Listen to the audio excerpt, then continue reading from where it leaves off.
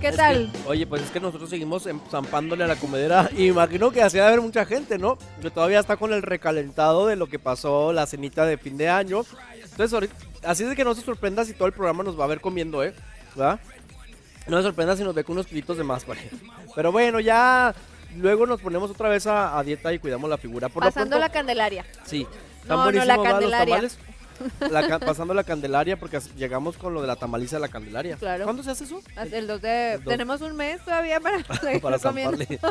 bueno, oye, eh, vamos a ver unas imágenes porque hay un, ah, fíjese nada más, eh, estas imágenes de unos animalitos, de un puercoespín que se enfrentó a 17 leonas. Vean las imágenes. 17. Observe.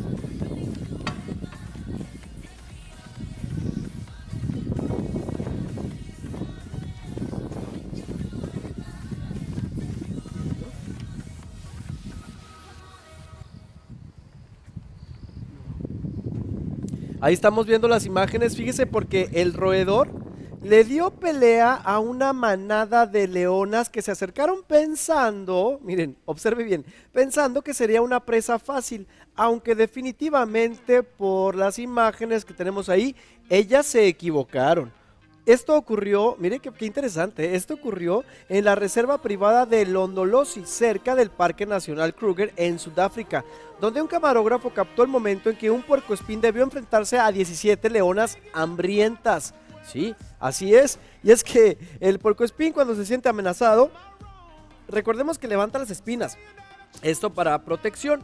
Y las leonas se acercaron demasiado. Ahora van a tener que lidiar con un gran dolor y buscar comida en otro sitio. ¿Qué tal? Mira, mira, mira, mira, mira. Ahí ya, mira. A ver, a ver. Y de reversa y de frente y todo. O sea, ¿sabes de qué me acordé? Me acordé de, de los, cuando, como los cascos que usaban los gladiadores. Y ya ves que había unos tipos de cascos que traían como unas espinas. También que se ponían así todos, o se juntaban todos los gladiadores y, y- y redo- y rodaban así su, su cuerpo. ¿Y te acuerdas en Pokémon? En Pokémon. En Pokémon. Qué Oye, padre, ¿verdad? Lo que pues ¿cuál película viste? Más bien, más, más bien en qué estado la vi. más bien en qué estado la vi, no, no.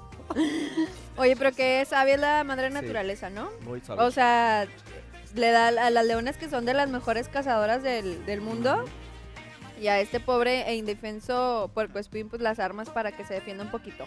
Qué bonito, qué bonitas imágenes. Y fíjate, ¿qué te parecería pasar de cantinero a millonario? Así es, una vida de lujos gracias a fallas en los cajeros.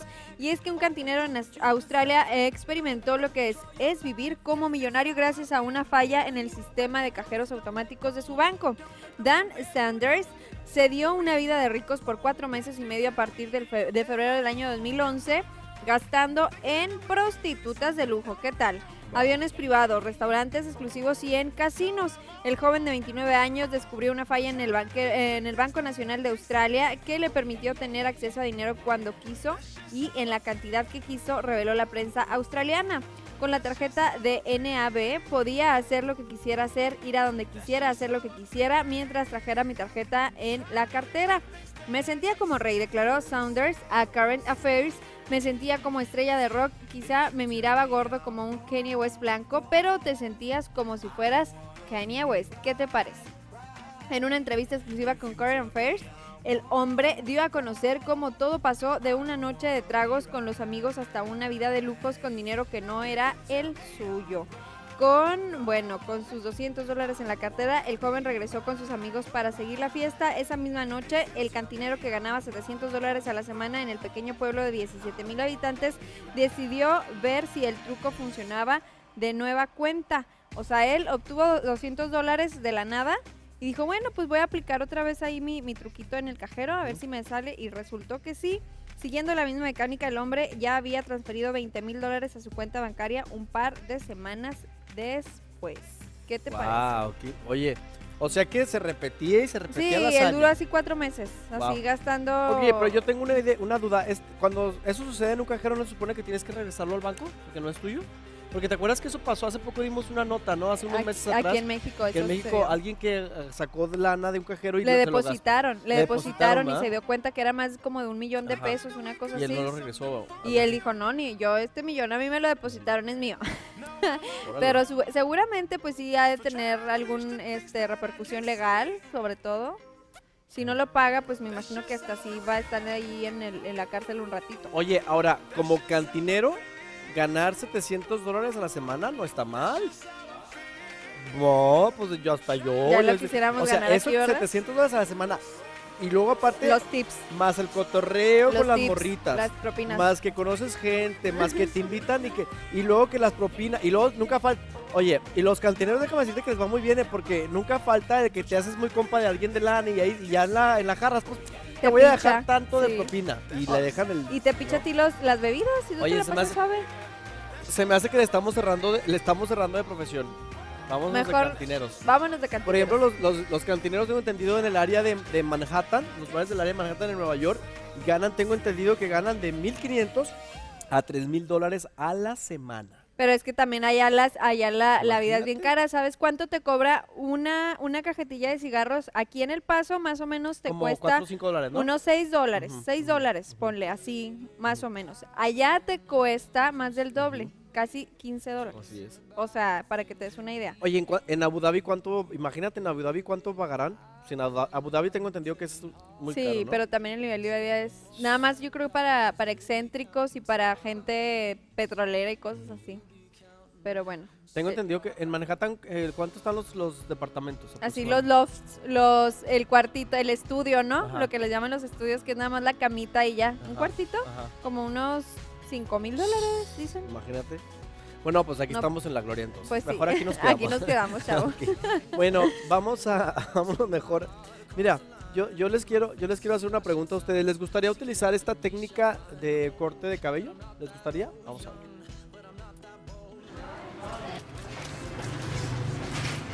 Sơn cầm lên theo cái kiểu hàng Nhật Bản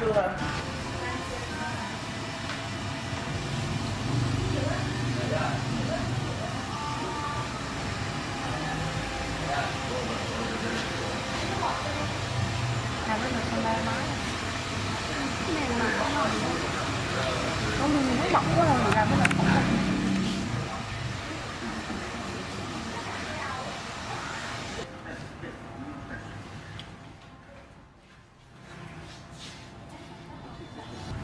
À, kỹ thuật kéo bằng kiếm này thì anh là xác lập từ năm 2010 à, ờ, anh là cựu tóc của Việt Nam.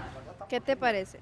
Oye, pero ¿cuál es, ¿cuál es el afán de ir a estresarte? O sea, yo, yo veo la cara de la chinita, de por sí está los ojos chiquitos, se hace que hasta ni los abrió en ningún momento, porque se, se ponía toda, toda intensa. Oye, es una katana, si tengo bien entendido. Mira ¿no? la de enseguida, la de enseguida. ¿Ya viste la de enseguida cómo voltea a ver? ¿Es una katana? Sí, ese es la es el arma samurái, lo que utilizan los samuráis para pues para defenderse su espada, la katana. Ahí está otra, mira, otro tipo de... de- Pero pero sí, son haz de cuenta que el filo es súper preciso, entonces igual y sí ha de dejar muy bien el cabello. O sea, te ha de dejar muy buen degra- degrafilado. No. Ándale, ándale, Alex. Ándale, a ver, ven, Alex. No, A ver, pero tú, esa no Alex, es una ven. katana. Pues inténtalo con eso, No, mi Alex. loco. A ver, inténtalo. No, no. Mira, ahí está, No, Alejandro, no. nuestro... A ver, yo no, te ayudo. pero eso no tiene filo. Yo te ayudo. Está loco. No, el tuyo, el tuyo. Mire, ahí está. Usted confía en mí. Ah. Venga, ahí va. Mire.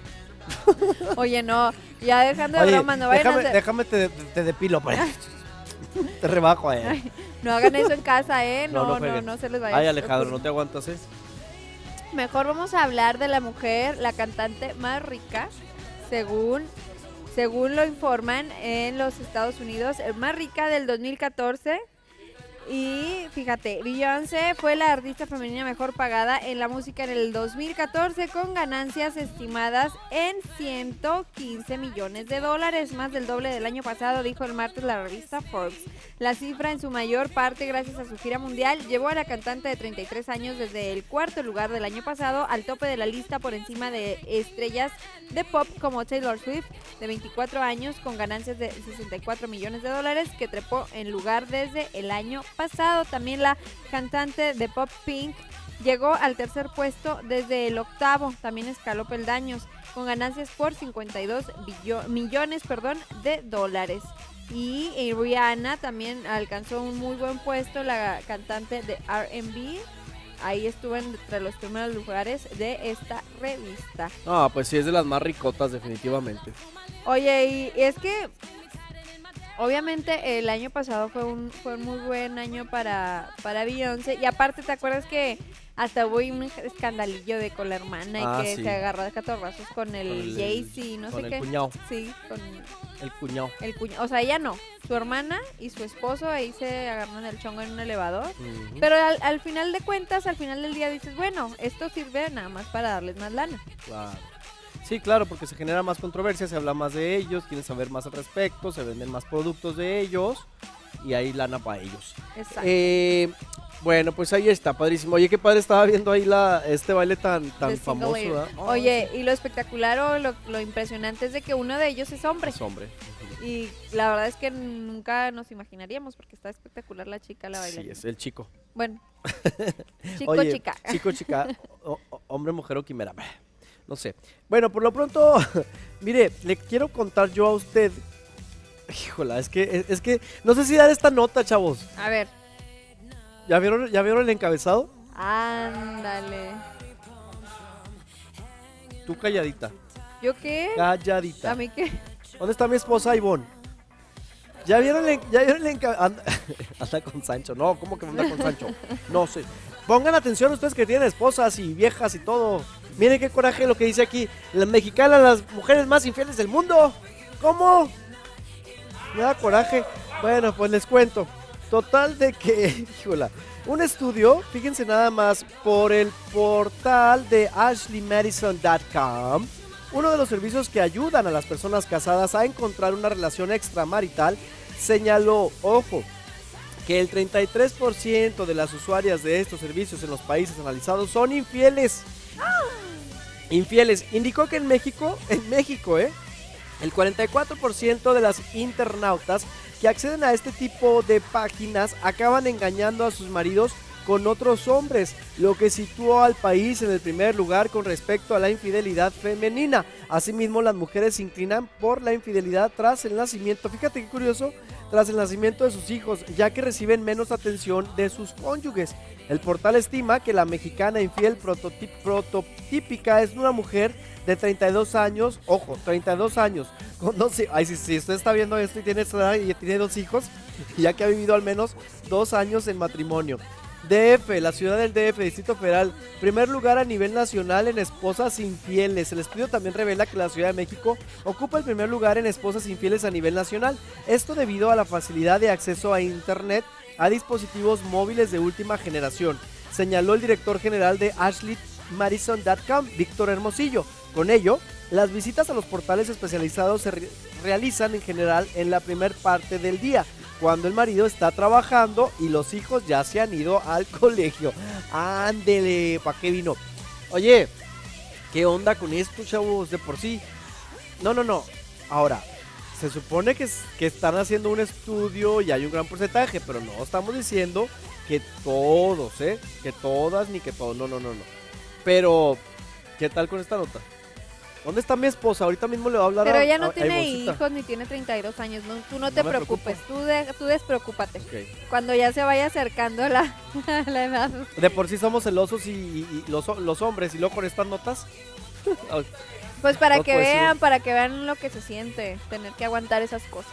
Bueno, mejor, ah, está loco. Mejor vamos a ver este hombre que se queda dormido por borracho. Y mira lo que ocurre. Yo creo que eso pasó mucho en, en Año Nuevo. Mira, no. ya ves, hasta con los perros son infieles. No, hombre, pues si te Oh. digo. Oye, ahora entiendo por qué dicen que, que los hombres con unos ya jarras. Oye, Cualquier dicen, cosa, que, dicen que no hay borra- borracho que coma lumbre, pero ya vemos que, que puede haberse casos, ¿verdad? Pueden darse casos. Órale. ¿Y el perrito? Ay, feliz de la vida, él dándole amor a su. Mira, a ahí su va otra vez, mira. Mira, ahí va. Mira, ahí va otra vez, mira, mira. No, ¿cuál comidita? Yo Oye. creo que el, el, el olor del, alcohol le, le Oye, llamaba la atención mira, al no. perrito. Oye, me- menos mal que era la lengua del perrito, ¿eh? ¿Qué tal si, qué tal si, qué tal si los amigos le ponen ahí otra cosa y él